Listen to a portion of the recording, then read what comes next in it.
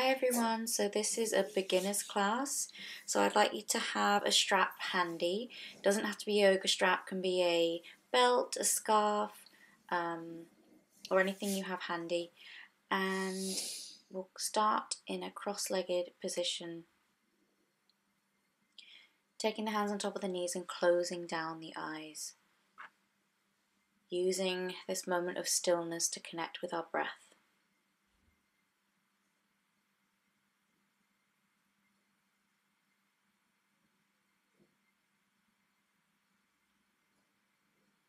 Nice, smooth inhales and exhales. And then begin to jut the chin forward slightly and then take the chin all the way down to the chest. So we're opening up in the back of the neck.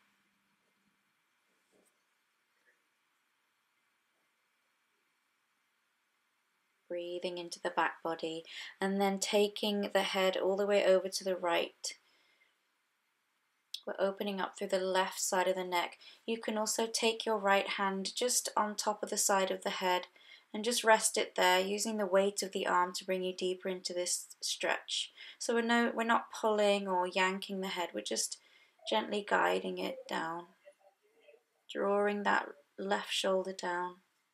And then release, roll the head back through center and over to the other side. And again, you can stay here, or maybe you can take your left hand on top of the side of the head and just gently use that weight. Just bring you a little bit deeper as you draw your right shoulder down.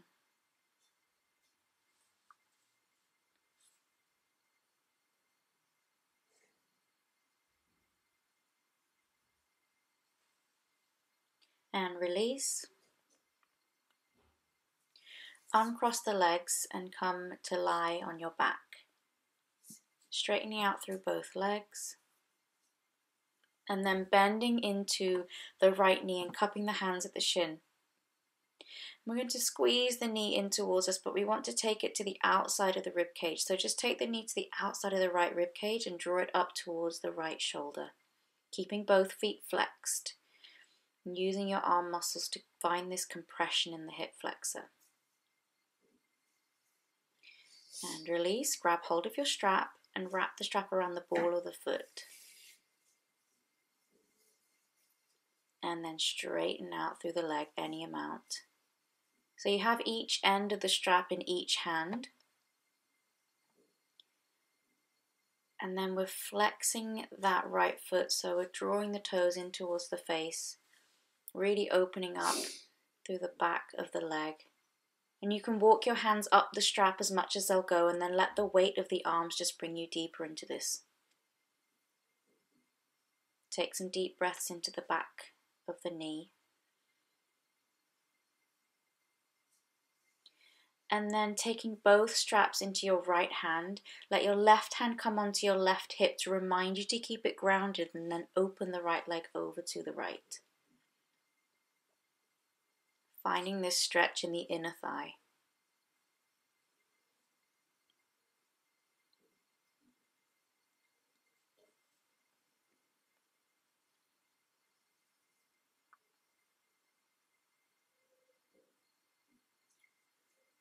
And then bringing the leg back up through center, switching hands, so taking hold of both straps in your left hand. Let the right hand just drop down, and then taking that right leg over to the left and rolling onto that left hip. Your foot doesn't have to come all the way down onto the ground, it can be lifted, and the leg can also be bent if it feels too intense. Otherwise, we're finding this stretch in the IT band. I'm taking some deep breaths here.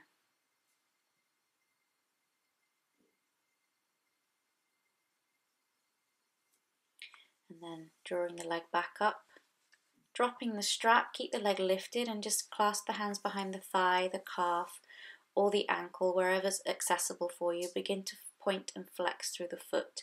So we're just awakening through the top of the foot and the Achilles.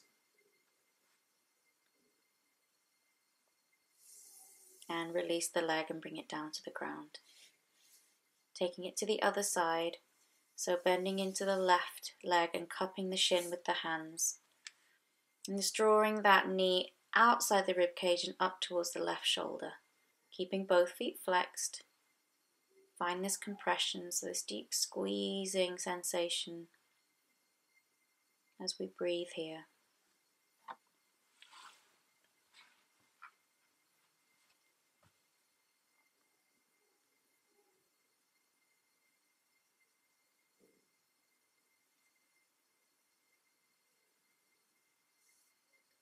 And release, grab hold of your strap, wrap it around the ball of the foot and take an end of the strap in each hand. Straighten out the leg any amount.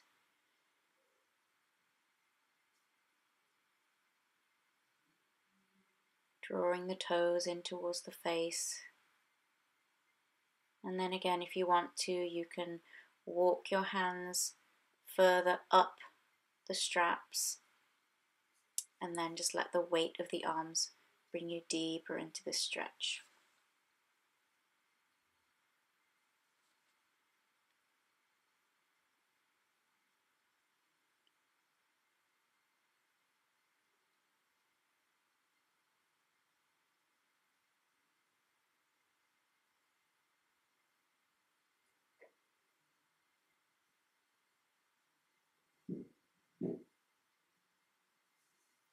And then grab hold of both straps in your left hand. Right hand comes down on your right thigh to keep it grounded.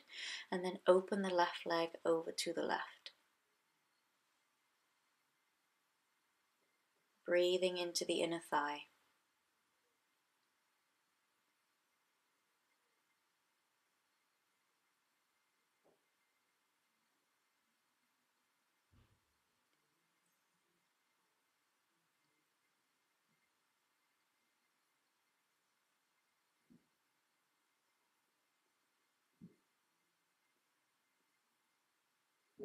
Bringing the leg back up through center. Switch hands, grabbing hold of both straps in your right hand.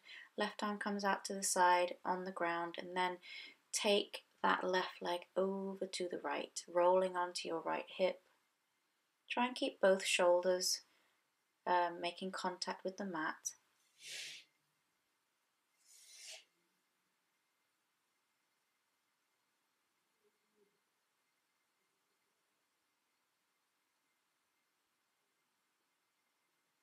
Breathe into the intensity.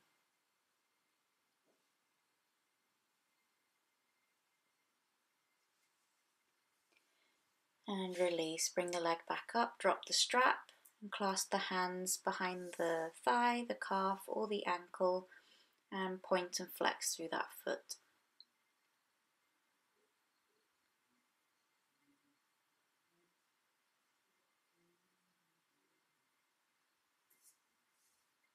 And then just hug both knees in towards you.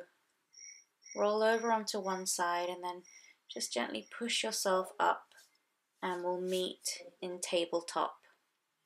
So hands and knees, fingers nice and spread. Just check that you have your joints stacked so your your um, elbow is above your wrist, shoulder above elbow, and that your hip joint is directly above your knee. And we'll come into some cat cow. So take a big inhale, drop the belly, tailbone and head lifts up towards the ceiling, and then deep exhale, round through the spine, chin comes in towards chest. Take a few more. So inhale into what we call cow pose, and exhale round the spine into cat. Inhaling again, arch the back, head comes up and exhale round through the back. Push the mat away with the hands and come back to neutral, a nice neutral spine. Take your left hand to the center of the mat, right under your nose, and then as you inhale, sweep the right arm up. And then as you exhale, thread it through and hover. And then inhale, sweep it back up so the shoulders stack. And then exhale, thread it under and hover. Inhale, sweep it up. Exhale, thread the needle, and this time let that right shoulder come down onto the mat. Your right side of your face comes down onto the mat for this nice shoulder stretch. So, really try to tuck that right shoulder underneath you until you feel this stretch. Your left hand can either stay where it is or maybe you can extend it straight ahead of you. Take some breaths here.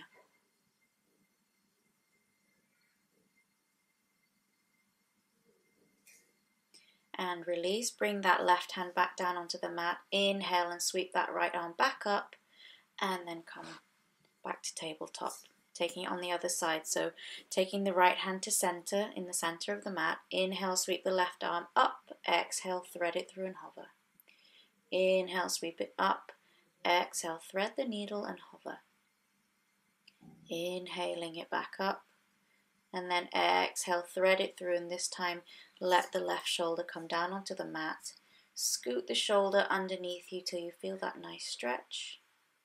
And then you can keep the right hand where it is, or maybe you want to extend it out ahead of you. And take a few deep breaths here.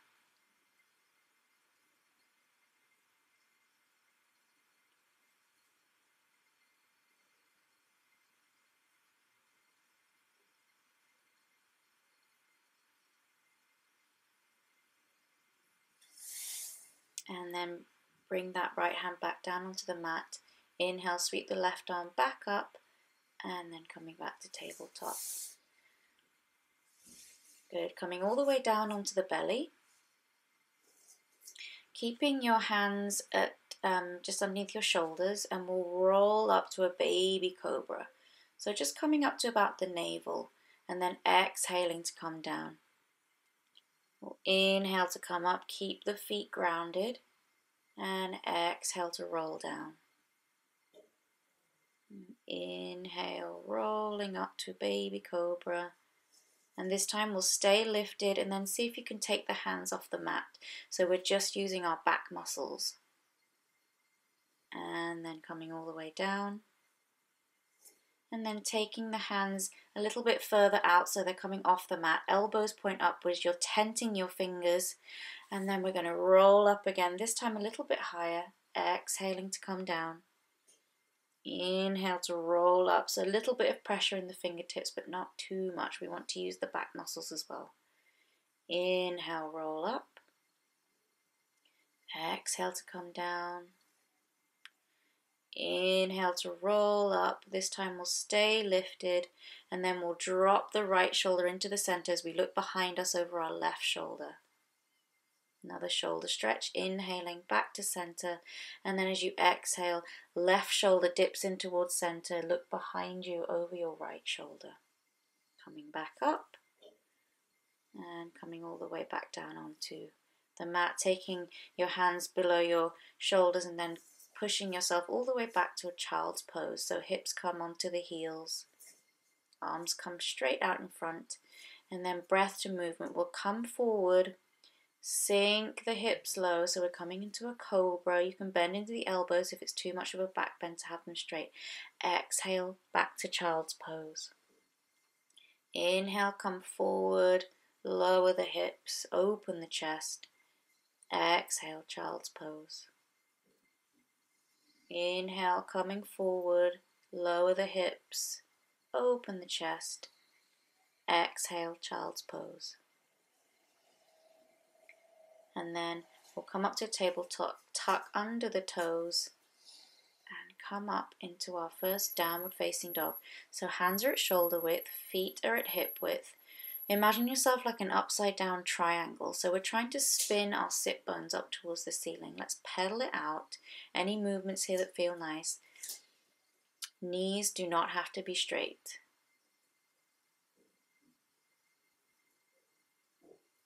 Be more concerned about the length of the spine.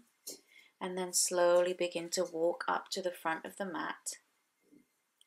Feet are at hip width Deep bend in the knees, take opposite elbow with opposite hand, coming into ragdoll. And we'll just sway from side to side. Feel the release in the lower back.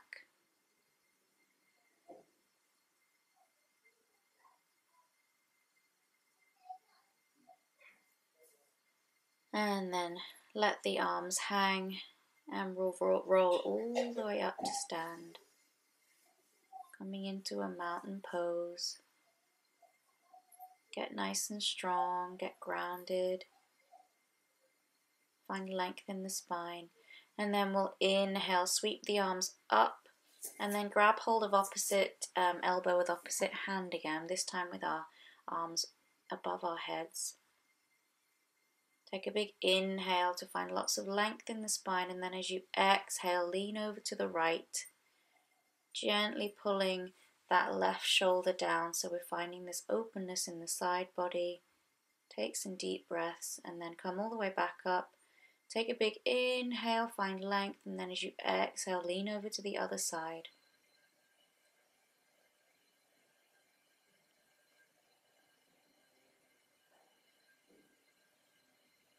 Coming back to center, release the arms. Coming back to uh, mountain pose at the front of the mat. Inhale, sweep the arms up. Exhale, swan dive, forward fold. You can bend into the knees if you need to. Inhale to a halfway lift. So you're coming up halfway, nice long spine. You can take your hands to your shins. And then exhale, fold forward again. And then step that left leg all the way back. Knee comes down, top of the foot comes down. And then take your hands on top of your right knee to help lift you up, bringing your shoulders above hips.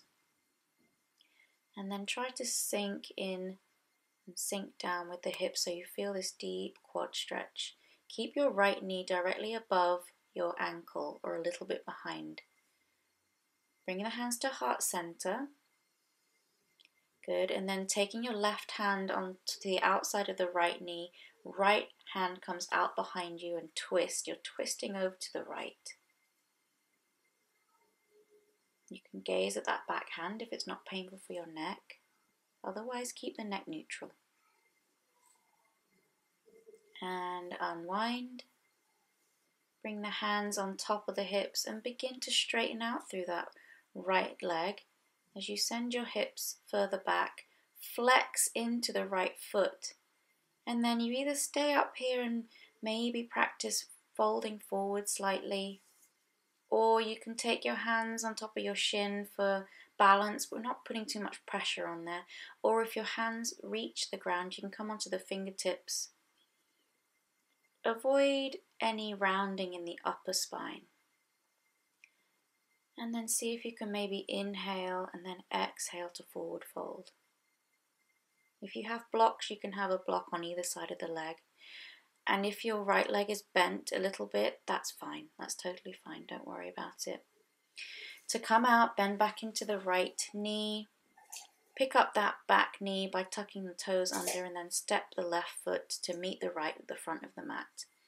Once you get there, inhale to your halfway lift, bringing the hands onto the shins, and then exhale, forward fold.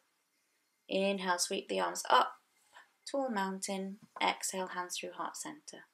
And take the same on the other side. Inhale, sweep the arms up, tall mountain. Exhale, swan dive, forward fold. Inhale, halfway lift, flat back. Exhale, forward fold, and then step that right foot all the way back. Back knee comes down, top of the foot comes down, and then put your hands on top of your left knee to bring you up, shoulders above hips. And then sink down into our low runner's lunge. Make sure the knee is directly above or a little bit behind the ankle. Work on getting a nice long spine here. And then bringing the hands to heart center, twisting open towards the left this time, bringing your right hand to the outside of the left knee, and your left hand comes out behind you for this twist. You can gaze at that back hand or keep the neck neutral.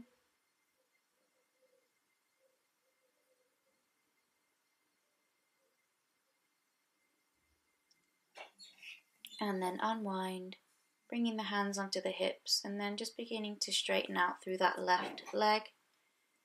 Flex the toes, toes so that the so that they're pointing in towards you and then you're beginning to fold forward you can keep the hands on the hips, or maybe you can bring them down onto the shins for extra support.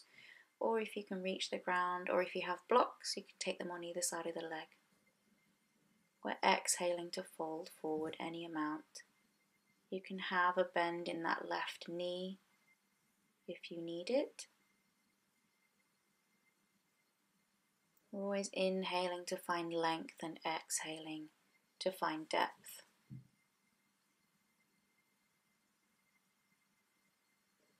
And come up, bend back into the left knee, tuck under the back toes. And then this time we'll step back to downward facing dog. So left foot steps back to the back of the mat, finding our down dog, taking a few breaths here. Please do take a bend in the knees if you need to. And then we'll inhale as we lift the right leg back. And then exhale, we're going to bring it in between the hands. And I'll just demonstrate you can use your right hand to help get you there. Once you're there, keep that back knee lifted this time. And then just pick the fingertips off off the mat. Feel the leg muscles engage as you do that and then see if you can bring the arms up overhead for our crescent lunge.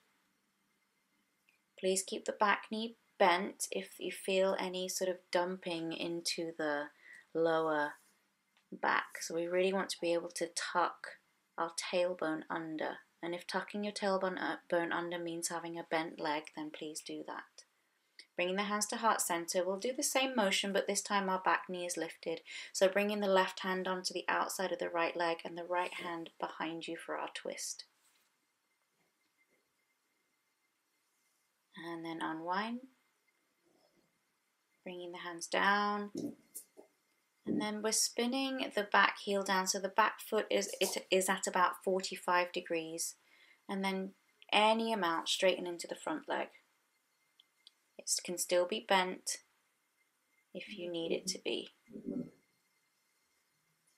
If having the hands down on the ground doesn't feel right, you can keep them up at the hips and just fold forward that way.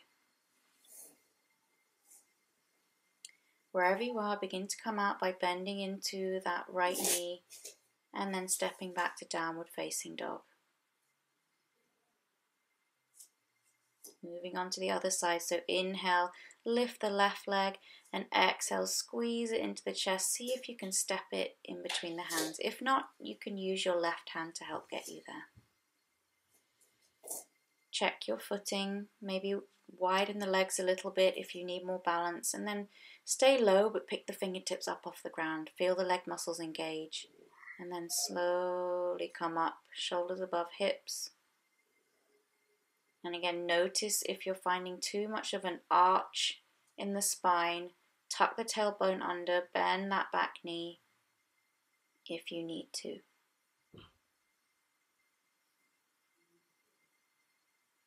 Nice, strong crescent lunge. Bringing the hands to heart center, taking the right hand to the outside of the left knee, twisting over to the left and bringing that left arm out behind you.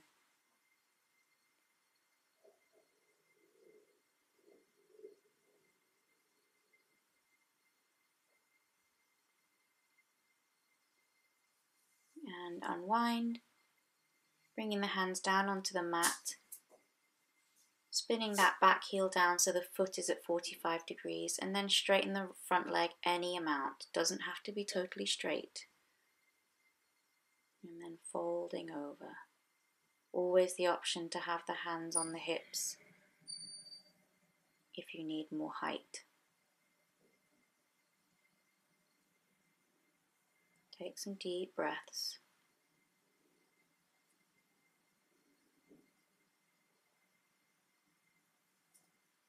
And then bend back into the left leg and step the right foot to meet the left at the front of the mat. And then come up onto the toes and come into a little crouch. So bringing the hips on top of the heels. See if maybe you can catch a little bit of balance by bringing the hands to heart center and then sit back. Straighten out through both legs. Peel the flesh out from under your sit bones and then grab hold of your strap again. Take the strap around the bottoms of the feet. Find some length in the spine. So you inhale, really find length, and as you exhale, we're folding forward without rounding in that upper spine. So this is where the straps come in handy so you can really find traction and pull yourself forward. It's a forward fold and not a downward fold. Maybe after a few breaths you feel like you can maybe reach the feet. You can always inhale to come up and maybe wiggle some space and then as you exhale maybe you can come down a bit further. You're imagining more belly to thigh than forehead to knee.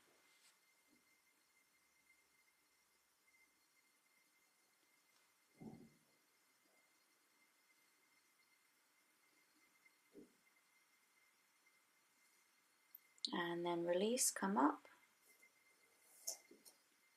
Bending into the right knee and taking the right foot to the outside of the left leg.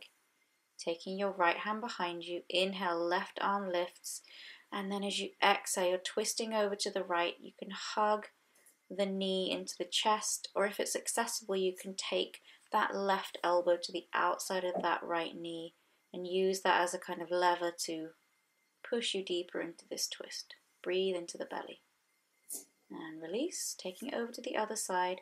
So left foot comes to the outside of the right knee, left hand comes behind you. Inhale, sweep the right arm up, and as you exhale, you're twisting over to the left.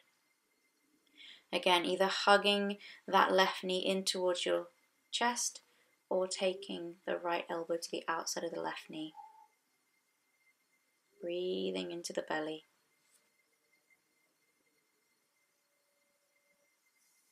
And then unwind. Release the legs and then come all the way down onto your back. Hug the knees into the chest. Give a little rock from side to side. Give your back a little massage.